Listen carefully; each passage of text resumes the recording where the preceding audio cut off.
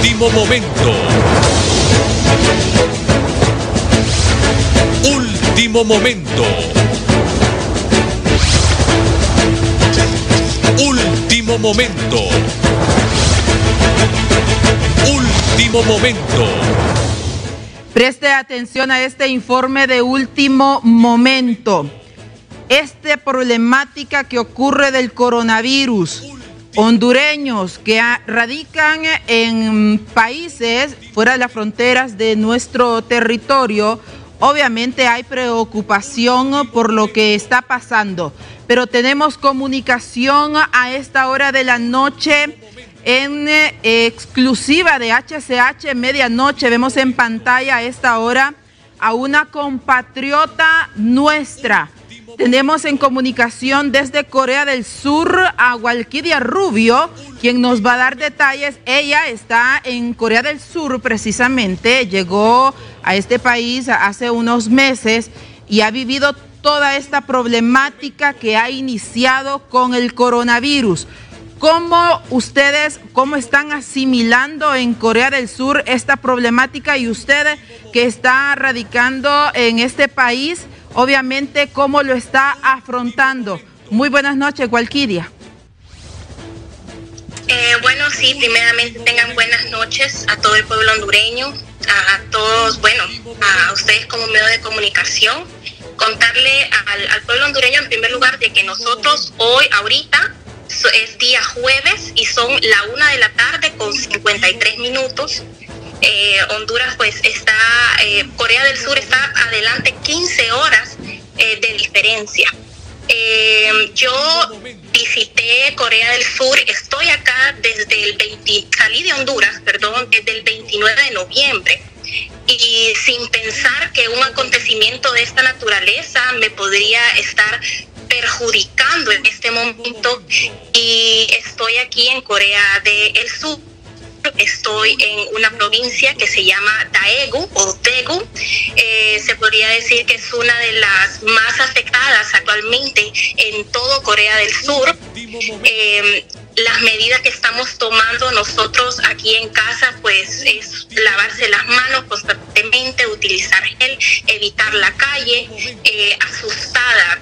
Yo desde un inicio que se dio esta, esta problemática, pude percibir de que mucha gente lo tomó como a chiste, lo tomó como a broma, pero eh, últimamente en estas semanas, cuando ya uno ya siente esa problemática literalmente respirándole en la nuca y que si uno toma la seriedad del caso, eh, en cuestiones de segundos uno se puede infectar, eh, realmente ya le empieza a dar la seriedad y la importancia que se debe a esta problemática. Usted está, eh, me decía, me comentaba, extra cámaras, eh, viviendo en zozobra. Usted puede ver el miedo en la gente, eh, cómo se vive en Corea del Sur, las autoridades sanitarias, cómo los están concientizando a ustedes, qué tipo de campaña están utilizando para poder eh, hacerle conciencia a la gente, porque empezó por una dama que fue, me contaba usted, y según información que han difundido en estos países, que fue a una congregación evangélica y de allí comenzó a regarse en, toda este, en todo este sector, en todo este país y que ya ahora pues conocemos que está en al menos más de 50 países esta enfermedad. ¿Cómo los están concientizando? ¿Qué mecanismos están usando? ¿Cómo usted puede ver la gente en las calles, cómo andan vestidos, cómo se identifican además?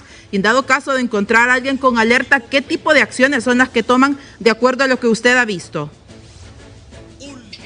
Eh, bueno, en primer lugar, utilizar una máscara parecida a esta que les estoy mostrando en, cámara, ¿verdad? Constantemente, yo tengo línea telefónica coreana, nos están mandando mensajes eh, donde dan a conocer pues las últimas medidas y las últimas tendencias que están ocurriendo acerca del coronavirus en la ciudad. Eh, hay hay videos en donde se puede observar que son miles y miles de personas haciendo fila para poder adquirir eh, una de las máscaras. No les voy a mentir, esta es la máscara que yo tengo preparado porque em, para realizar mi viaje yo tengo que, ir a Honduras em, la otra semana y una de estas máscaras no vale menos de 45 dólares para que ustedes sepan y se dice que esta máscara pues es de las de las de las que están recomendadas utilizar acá. Eh, la gente actualmente pues están cerrados los comercios en donde se pueden aglomerar el mayor número eh, de personas. Hay comercios sumamente grandes, podría, les podría afirmar em, que a la gente se le ha recomendado estar en su casa, las escuelas no están funcionando, ni, ni otros eh, otro tipo de, de, de tiendas o servicios no, no están funcionando. Eh, hoy ya yo les compartí unos videos, eh, ya se ve que hay mayor movimiento en la ciudad, se, se espera que, que podamos controlar eso. La verdad que esta problemática ya es de, es de todo el mundo y cuando ya uno vive en carne viva la situación es cuando ya uno se pone a reflexionar y, da temor porque uno dice, o sea, mi país no está preparado para una situación de esta naturaleza. Podemos, ustedes pueden observar en, en sus pantallas el equipo sofisticado que se utiliza aquí. Muy diferente lo que se utiliza en comparación a Honduras. Esa es la máscara, ustedes les han enseñado también cómo utilizarla, cómo andarla me decía usted que cuesta al menos 40 dólares em, y que les hace la gente mucha fila para poder obtener una de estas máscaras y por ello, por ende, obviamente, no contagiarse del coronavirus. Ahora bien, usted ya en, en su situación, ¿está pronta o quizá no en regresar a nuestro país. Eso dejémoslo a su criterio si lo quiere responder. Pero, ¿qué le preocupa a usted una vez que pues ya decida regresar al territorio nacional y obviamente que esta enfermedad pues tome más auge? Último me preocupa saber de que al llegar en Honduras eh, se preste la atención necesaria. Desconozco si solamente yo voy a estar llegando. Asumo que otras personas también tienen que, estar llegando procedentes de esta zona a, Honduras y espero que las autoridades pues presten la atención necesaria, eh, se dé la cuarentena que se tiene que seguir para no poner en riesgo la integridad primeramente de mi familia, de mis amistades y posteriormente pues de, todas aquellas personas que estén cercanas en ese momento que eh, yo tenga la llegada a, mi país. Es un viaje bastante largo, son 14 horas de vuelo. Voy a hacer una escala en la ciudad de Atlanta de 12 horas. Eh, ahí suman 28 horas aproximadamente que uno tiene que estar alerta a, cualquier acontecimiento y tomar las precauciones en todo momento durante eh, ese camino que, en el nombre de Dios voy a emprender eh, para llegar a Honduras. Su familia aquí en Honduras, ¿qué le ha dicho, qué le ha comentado? Obviamente la preocupación pues debe ser eh, extrema, pero mm, ¿qué conversaciones tiene usted con ellos? No, nosotros somos una familia bastante creyentes en Dios yo sé que mi familia me ha puesto en las manos de, Cristo durante todo este proceso. Y primeramente mucha oración, mucha oración y yo tratando de decirles de que de que bueno que ellos tomen tomen las medidas y yo pues avisándole a las autoridades que que voy para allá y que como país me tienen que recibir, es mi país, yo no puedo irme a otro país que no sea el mío, el tiempo aquí ya se me venció, las, las reglas en este país son bastante serias, incontundentes. Así que para no tener ninguna repercusión a futuro por incumplir las leyes migratorias aquí en Corea del Sur, retorno a Honduras y, esperando que toda esta situación mejore para yo eh, eh, regresar sin, sin ningún problema. Además de ello, Walkiria, quiero consultarle en el edificio eh, donde usted habita eh, ¿Ya se han reportado algún caso? ¿Tiene algún caso de, estos de coronavirus que se haya presentado? Eh, yo vivo en, el downtown y los edificios se caracterizan por ser sumamente altos y por tener poblaciones hasta de mil habitantes en un solo edificio. Eh, desconocemos en este momento si, si existe un caso de, coronavirus. Eh, normalmente siempre los ascensores están constantemente actualizando y publicando los últimos acontecimientos que se dan en, en el complejo habitacional y ahorita pues les podría decir de que no hay casos de coronavirus, gracias a Dios, acá, eh, al menos en donde yo estoy viviendo. Eh, y y, contarles a mi familia, aprovechando el espacio, de decirles de que me encuentro bien de salud, he estado tomando muchísimas vitaminas, eh, desde los remedios caseros, desde limoncito y todas esas cosas para tratar de contrarrestar o tener mis defensas lo suficientemente altas para poder eh, bajar la probabilidad de contraer un virus durante el camino. Las autoridades les recomiendan que hagan este tipo de acciones, de que se estén vitaminando, que se estén chequeando constantemente. Hay lugares especializados, habilitados en, lugares, sectores específicos para poder hacer las evaluaciones a quien quiera hacerse algún chequeo. Claro que sí, hay hospitales que ya cuentan con la logística eh, necesaria para poder atender los casos sospechosos en este o, también los, obviamente, los casos confirmados de, coronavirus. Eh, cuando se, se dio esta multiplicación en la ciudad del virus, le podría Disculpen que ahorita ha caído pues un mensaje. Último momento. Ahí está. Mensaje ha caído, entonces se bloquea, se bloquea la señal.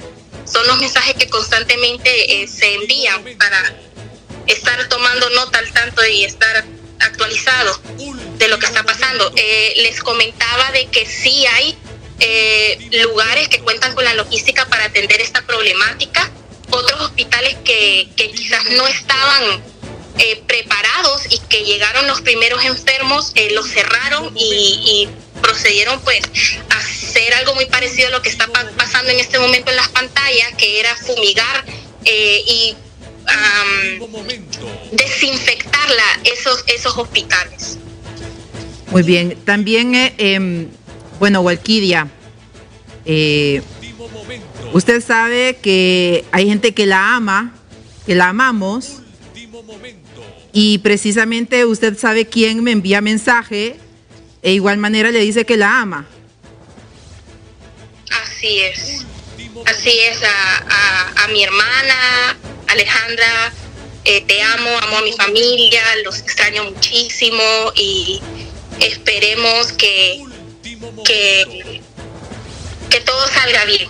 Otra cosa, aprovechando el espacio que me ha llamado muchísimo la atención, es que en Roatán se están recibiendo todos los cruceros que, están llegando. Eso me llama muchísimo la atención porque se habla de que en, en, algunos lugares en México le dijeron usted aquí no se va a estacionar, no pueden bajar a la población de cruceros. Yo creo que nuestras autoridades deberían de estudiar más a fondo qué consecuencias pueden podemos llegar a presentar al recibir estos cruceros.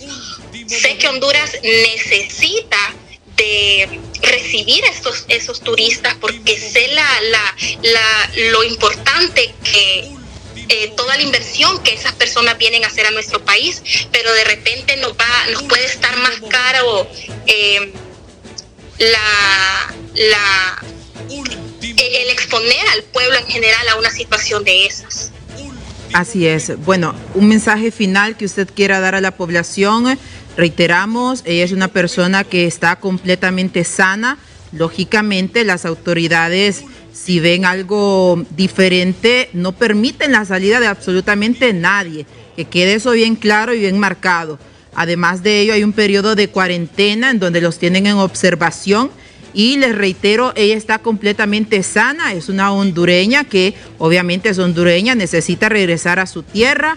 Em, y como ella misma lo dijo, los chequeos, las, eh, los constantes avisos que se dan por parte de las autoridades, pues es em, es notorio y le reiteramos, Walquidia, usted está completamente sana, igual que las personas que están a su alrededor.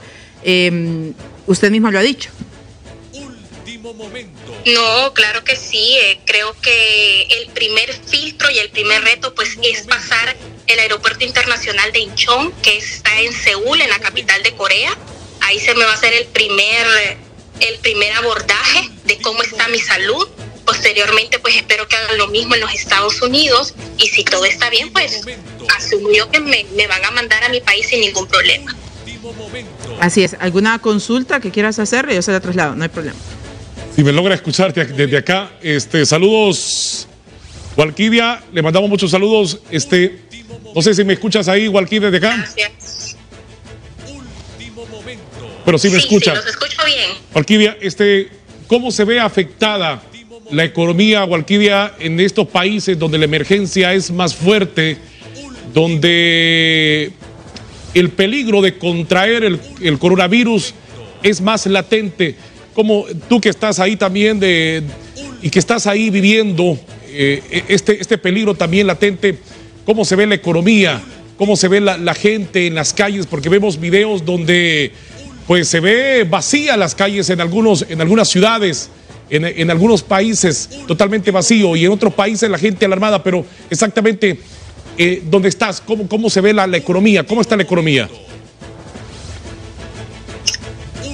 Aquí en la provincia que yo me encuentro en, aquí en Corea se caracteriza porque he logrado eh, observar muchas personas que tienen sus zapaterías, sus carpinterías, tiendas de ropa, barberías, cafés, eh, que se mira que son personas emprendedoras y también se miran marcas internacionales de comida, de café que funcionan vacías y eh, ya estas tiendas pequeñas de microempresarios les podía decir de que en su mayoría las he visto eh, cerradas.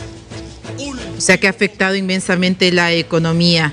Bueno, Walkiria, muchísimas gracias por atender la llamada de, de nosotros, de su canal de HCH precisamente, eh, y su mensaje final para la población hondureña y sobre todo para las autoridades que a esta hora pues obviamente están eh, en pro y a raíz de las peticiones que se han hecho, Alan Paul, activar de verdad protocolos de seguridad, ver cómo las personas que vienen al territorio nacional, sea por frontera terrestre, marítima, sea por vía aérea, pues presenten, no presenten más bien algún síntoma, algún signo de esta enfermedad que ya ha dejado millares de muertos en el mundo.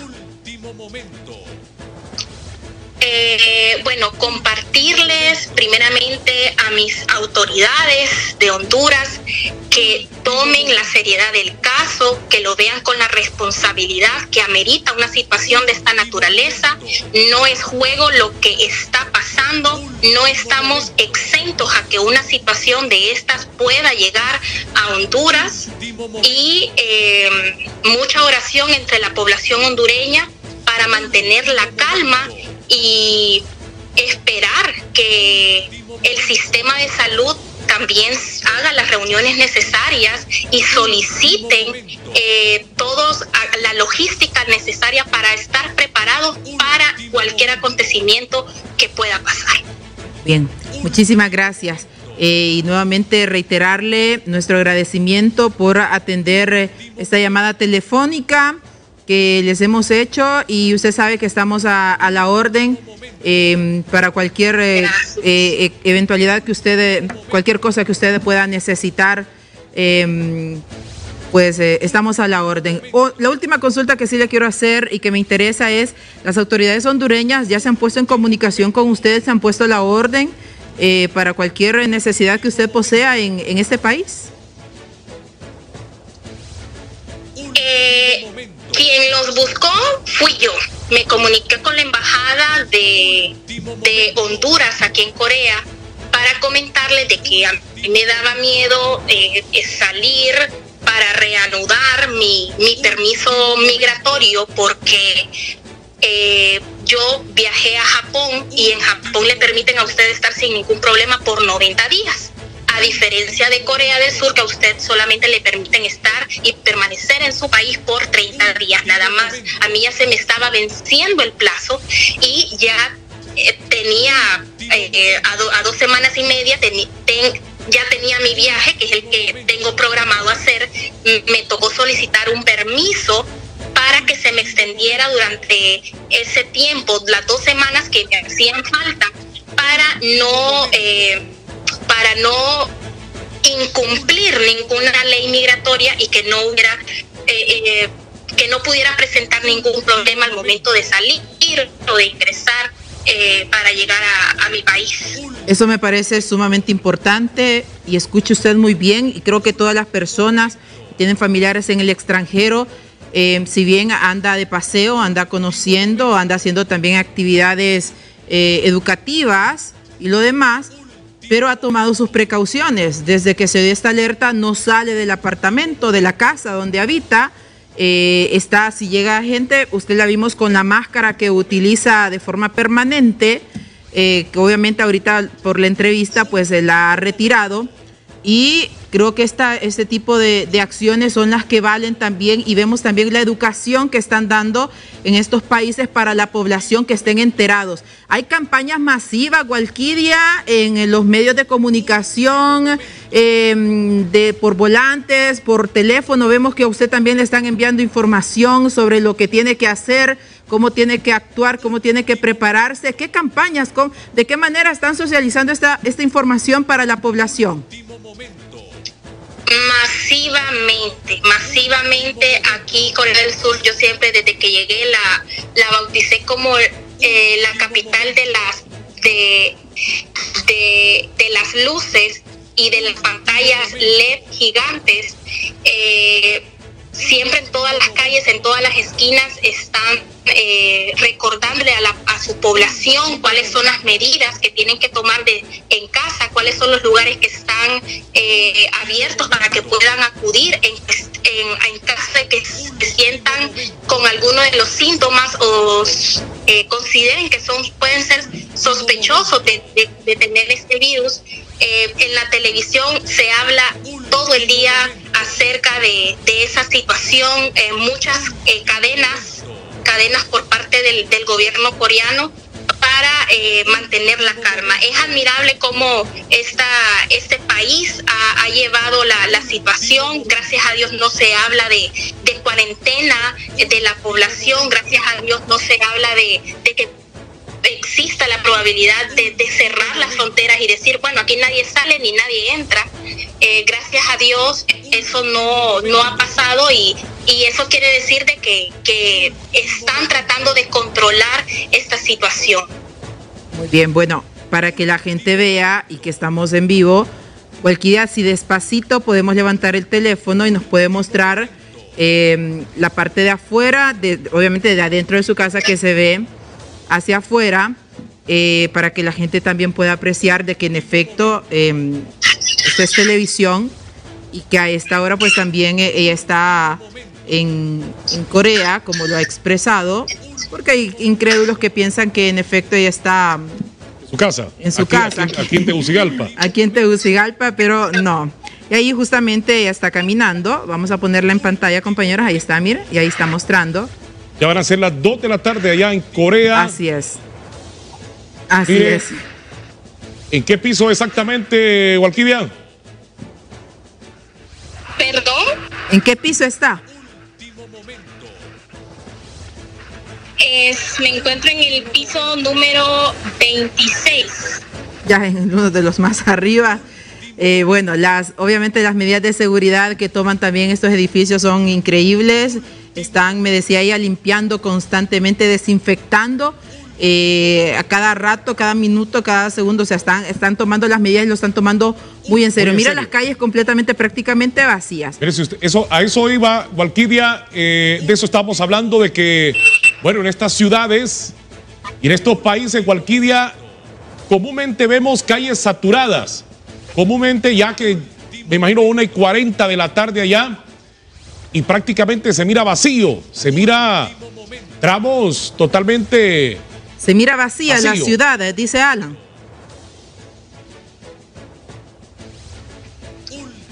Eh, sí, se mira eh, poco movimiento, eh, al igual hay sus horas como de tráfico, horas de horarios que son hora pico, por decirlo así, de tráfico, y también se mira poco movimiento de, de, de carros particulares. Eh, les comentaba de que sí Muy bien, hay, bien. eh, Eh, bueno, agradecerle nuevamente, Walquidia, por em, a- atender nuestra comunicación y pendientes de usted siempre.